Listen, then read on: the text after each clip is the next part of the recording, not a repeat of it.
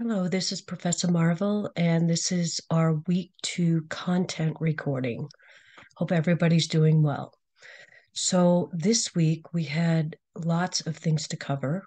Um, we had um, numerous in the P in your introduction to maternity and peds, we had numerous common childhood ailments which you need to review. And there were, there were only specific pages in each chapter to review for each ailment. So please don't go to the chapters and, and read the chapter from start to finish. Um, just go to the pages that were assigned. Um, we also had um, the second page in your med-surg book, page uh, 1024. In week one, we had 1023, which is um, community care community caring. So uh, please take a look at that. Um, and then in our fundamentals book, you had chapters 11 and 12. So I'm going to review a bit of that today. Um, you also have your uh, week two notes that I sent out in the announcement to supplement your um, studying uh, preparation. And those are actually a really good summary of all the content uh, content we're going to be covering this week. Um, and then your discussion question this week in week two um, actually is picking three common childhood ailments. So it matches up with um, the content from this week. In your Canvas module, you also have two additional readings. One is with the school nurse, and one is on um, lead exposure. So we'll cover that. Um, so I'm going to share my screen and I'm just gonna we're gonna cover um, the two chapters in the book. Okay, so chapter this week we're responsible for uh, growth and development, and again, um, when you start to uh, it's probably about half half as far as um, chapters that you're responsible for with regards to portions of the chapter or the full chapter. Um, so in this week, uh, we are responsible for the whole chapter in growth and development, chapter 11, and then same with um, adulthood in the family in chapter 12. Okay. So, as always, um, remember the PowerPoints, just a reminder the PowerPoints I've sent you for chapters 11 and 12 in your fundamentals book are essentially a outline of the chapter. Okay, so it's not new information. Um, the PowerPoint it it outlines the chapter. Okay, with a with some additional detail. Um, so when you look at um, each chapter, at least the chapters you're responsible for in full, um, please take a look at the objectives. Okay. Upon completion of uh, reading through this chapter, you should be able to do the following. Okay. And then there's the 13 objectives that um, you should be able to articulate. And I go through the chapters and highlight information in the chapters that help support you um, to complete being able to articulate uh, the objectives. Okay. So this is growth and development. So as you'll see, I'll skip through part of the chapter. I'm going to go to my highlighted sections because I've, obviously I've already reviewed these um, chapters. Okay, and so one of the first things is how how do we define age groups? Remember, in community nursing, you are going to be potentially caring for clients across the entire lifespan. Okay, and so here's how uh, we've broken out the age groups in prenatal, infancy, early childhood, middle to late childhood, and adolescence. Okay, in every age group, um, their developmental and functional functional ability is different. Okay, you always have to consider physical, cognitive, and psychosocial aspects of each group. Okay, cultural issues may also be a factor um, when looking at each group. Okay.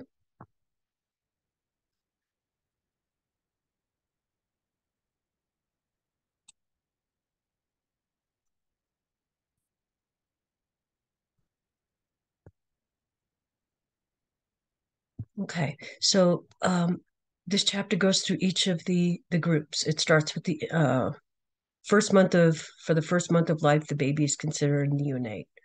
Okay, um, what is what kinds of health promotion um, activities would we be teaching and working with new families? For infant health care regular checkups immunizations okay nutrition. Okay we would start to look at development developmental milestones okay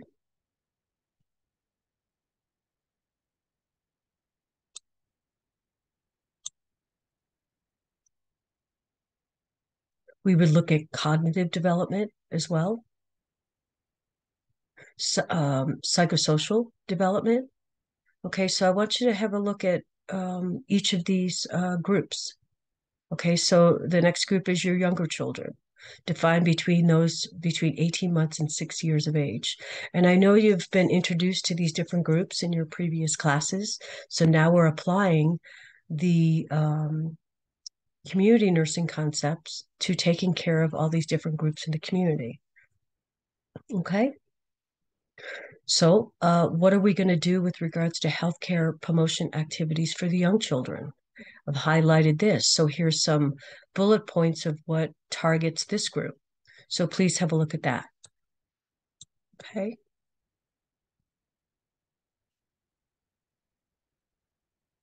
And please take note of what areas I'm highlighting. Okay. And then we go to our middle and older children, uh, ages seven through 11 years old. Um, typically, these kids move are going to elementary school. They're starting to join group activities, and they're trying to be more grown up. Right? They're always filled with energy and enthusiasm, and they start to express ideas of their own and confidence in themselves. Okay, so each of these sections goes through physical development, cognitive development, psychosocial development,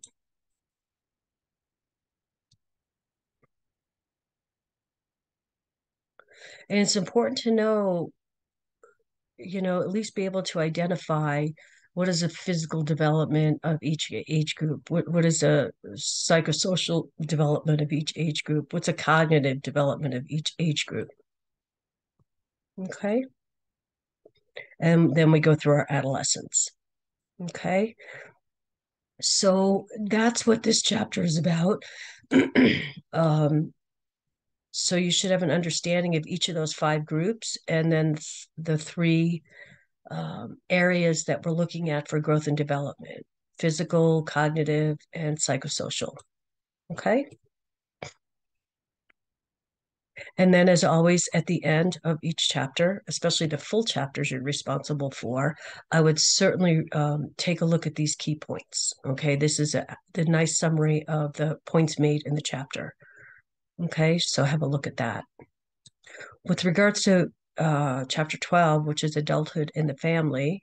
Um, again, the PowerPoint I sent you is a summary of the chapter. Um, please take a look at your objectives. Um, there's six of them here, and after reviewing the chapter, you should be able to answer these.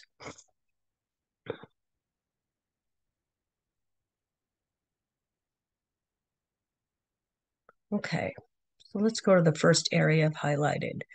Um, here, um, functions of the family. Okay. It's important to understand what, what is the makeup of every family. Okay, so these are typically the most common functions of the family. Each of these is going to look different in every single family, but this is essentially the functions the family is made up of, right? Physical maintenance, protection, nurturance, socialization, education, reproduction, recreation, and support. Okay, so these functions are all part of all families, and they're going to look significantly different from family to family. But those are the basic family functions, and that's important to know.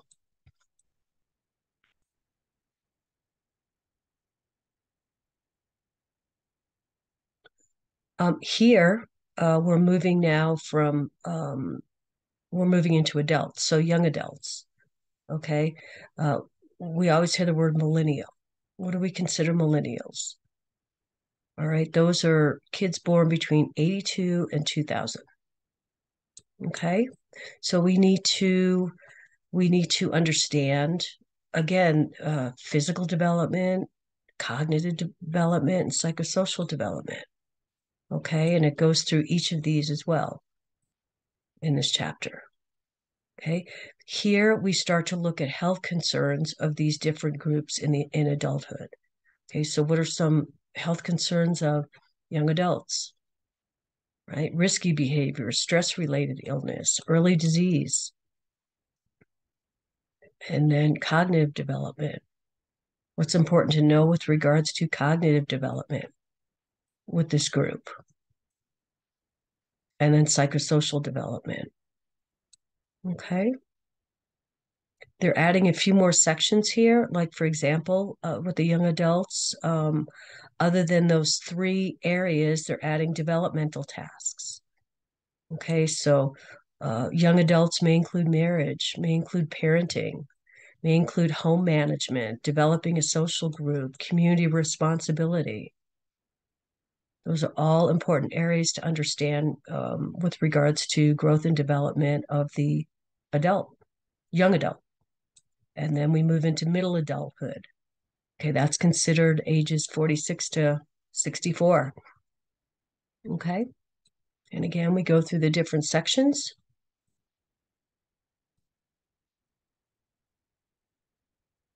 and what may be occurring in those different sections. At this, uh, in this age, we have uh, health concerns, right? Health concerns become a much greater issue and uh, much riskier in middle adulthood. Okay. Cognitive work life is important in this group. Okay. And again, psychosocial development includes uh, marriage, friendships, parenting, caring for aging parents. Okay. So those are the different um, areas that are covered um, in adulthood. Again, we're looking at the same um, same assessment areas such as physical, cognitive, psychosocial, but each group adds additional um, sections to be covered within that age group. So again, review your next gen. Okay, review your next gen uh, key points for this particular page. Okay. So I wanted to review before I go to the notes um, school nurse and lead exposure because these are two readings within your within your Canvas module, and then I'm going to review the notes with you. Um, so I'm writing your module now. So school nurse, what do we know about the school nurse? What do you guys think the school nurse does? School nurse is one of the one of the uh, roles that the community nurse has. Okay. Um,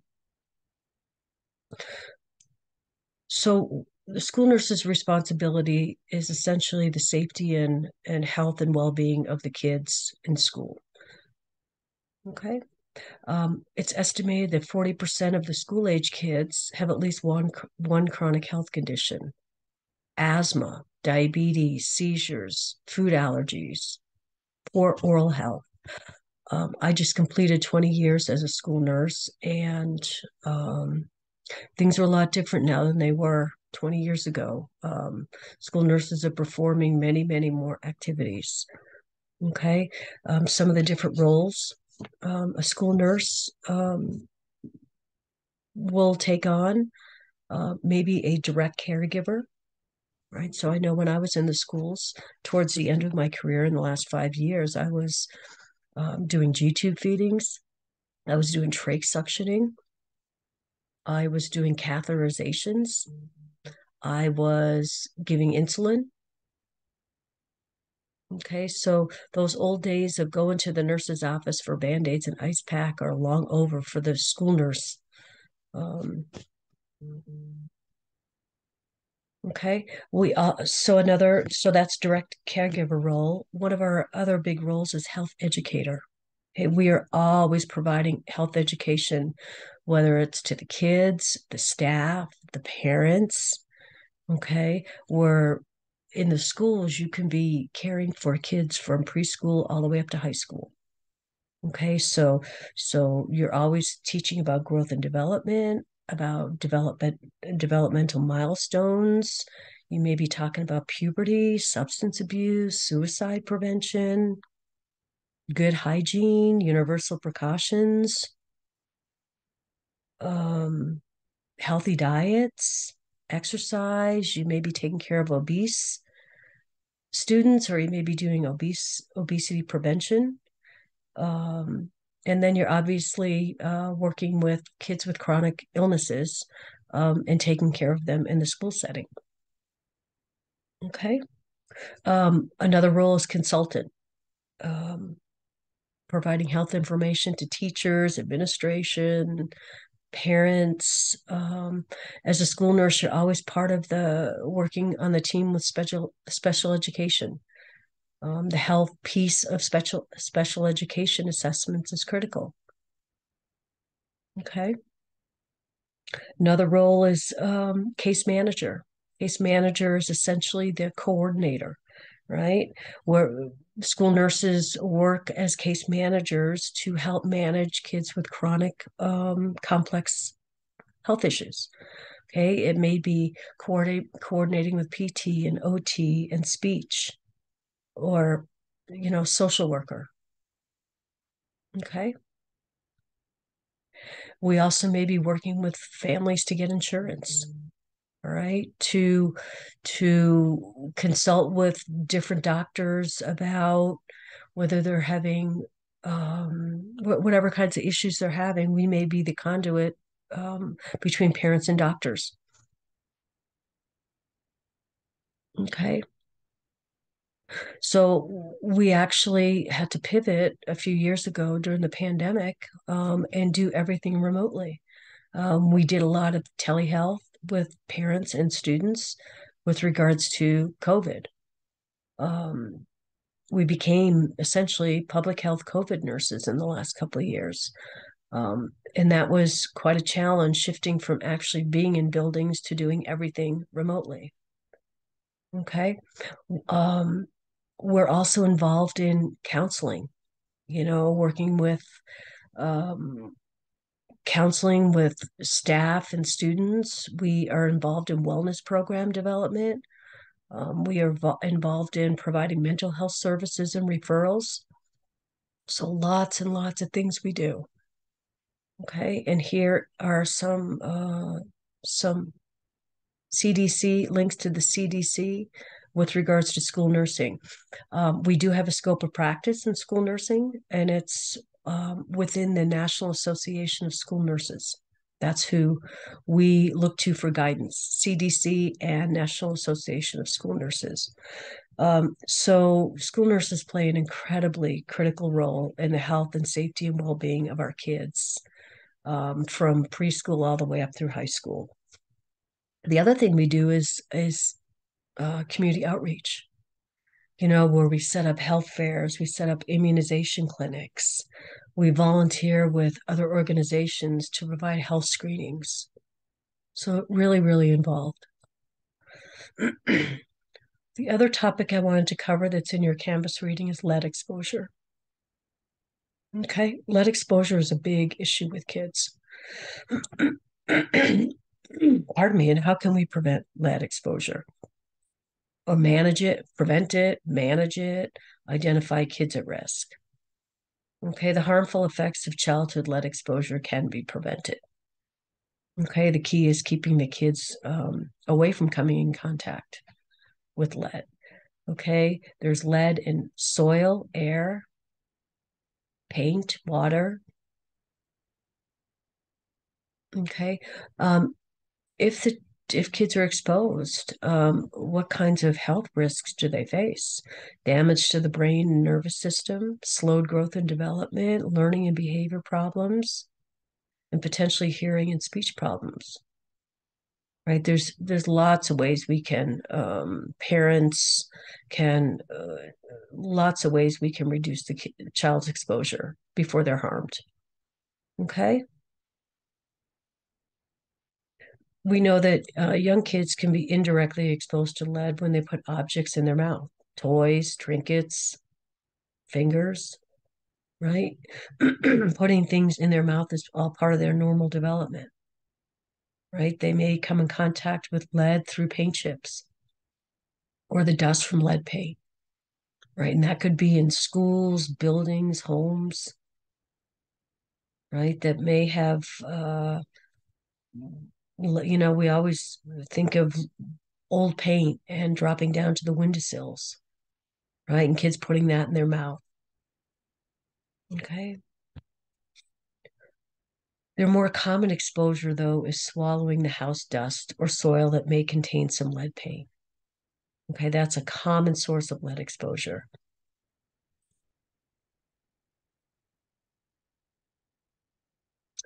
And as we talked about, exposure can lead to serious harm with the child's health. What do we do? Well, there's lots of new zoning and codes now, thank goodness, uh, for building new homes or remodeling. Um, maybe older homes or schools, we may be encouraging paint removal. Right? How do we prepare the services surfaces before we're repainting? Okay, there's also other sources besides just paint.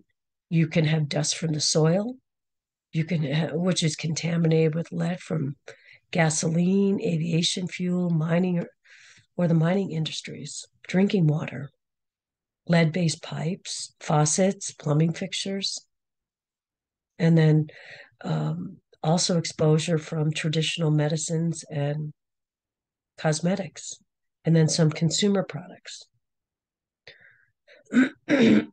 Adults can also be um, at risk for lead exposure, whether it's at work or from some different hobbies, right? They, um, and it gives you a list here of different um, hobbies that may expose you to lead. Home repair, if you're doing home repairs, remodeling, pottery, battery recycling. This is an excellent resource here um, from the CDC with regards to lead poisoning. So I would encourage you to read that. Okay. Then I just want to cover the notes here. Um, make sure we covered the school nurse. I'm just going through the week two notes. We covered the school nurse. Um, the second section is prevention in the school setting. So we're going back to schools.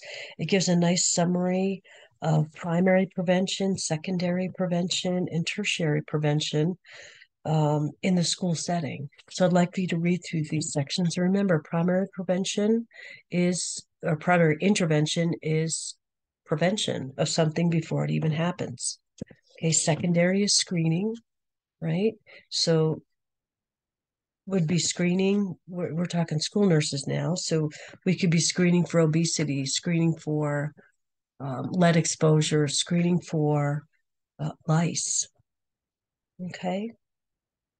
Uh, jumping back to primary prevention, um, we could be educating, especially the school age children, on the the and adolescents on these uh, um, benefits. Of, they have seatbelt safety, helmets for bike riding, playground safety. Try to help teach them and uh, educate them on prevention of sports related injuries. Okay. Secondary prevention we talked about. Um, that could be, um, like I said, screening kids for for different health risks. It could be taking care of the kids in the clinic uh, when they come in. Um, maybe screening for chickenpox, conjunctivitis, Okay, scoliosis screenings. And again, I'm just going from your notes now. Okay, so tertiary prevention is they already have something going on, so we're trying to help them help them manage that. Right? So like if they're taking medication for asthma or allergies or ADHD, tertiary is providing those medications during the school day. And then we work with parents and teaching teaching them how to take care of their kids with chronic illnesses. The next section of your notes is family development. Okay, so please take a look, take a look at that section. Um, family health risks. Okay, so family health risks. Um, how are the risks derived? Are they genetic? From previous generations? Are they environmental? Are they behavioral? Okay, and then the last section goes through all the ch ch common childhood ailments, which you should be familiar with from previous classes. Um, so it discusses asthma, discusses eczema, type 1 diabetes, conjunctivitis. These are all um, these are all common ailments that you'll get asked about on the first exam. Okay, so um, lice is in here, ADHD, iron deficient anemia, scoliosis, and then finally lead exposure.